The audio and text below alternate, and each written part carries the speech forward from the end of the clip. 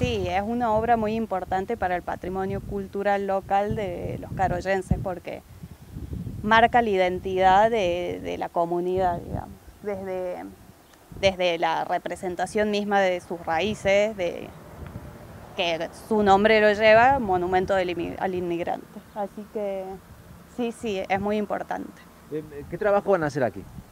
Eh, bueno, está programado un tiempo de cinco meses, cuatro meses y medio aproximadamente, y tiene un seguimiento de etapas que tenemos programadas. Eh, digamos, intervienen las limpiezas, las preconsolidaciones para abarcar los trabajos que vienen, las etapas que le siguen, que son las consolidaciones, el reintegro de material, el modelado eh, bueno, y la etapa final, es, lo, principal es eh, respetar el original, así no se crea un falso histórico.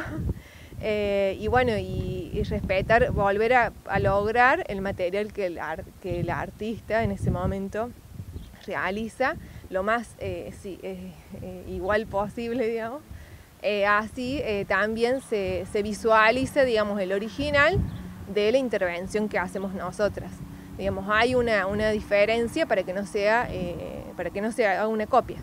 Eso es, la función principal. Eh, si uno lo ve de lejos, no se nota, nos hemos acercado ahora y hemos visto qué deteriorado que está. Eh, ¿Qué es lo que ha ocurrido con el monumento? Si se puede explicar así para la gente.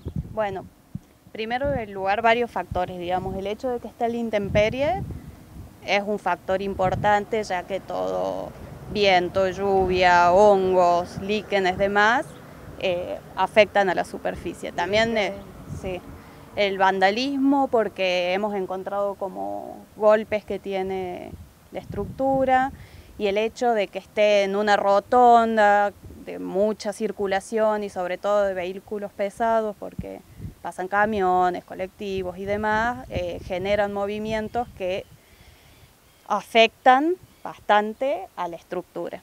Como así también las intervenciones que se le ha dado después de pintura, de, digamos, de que hemos visto de capas de pintura, también eso hace que las digamos, el factor climático, digamos, esas capas de pintura, eh, si se potenció, digamos, hizo que, se, que esa humedad se conserve adentro de la estructura, al ser esto una estructura de hierro, hace que ese hierro se aumente, digamos, en su tamaño y también logre eh, que, que, el material original se empiece a agrietar y fisurar.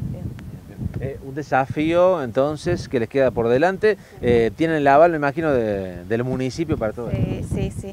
Eh, bueno, nada, respetando mucho el municipio y la conciencia que se hizo desde el municipio de apostar a esto, a la conservación y a la restauración del patrimonio cultural y local, porque como en Córdoba recién ahora se está empezando ah, importancia a los trabajos de conservación y restauración del patrimonio.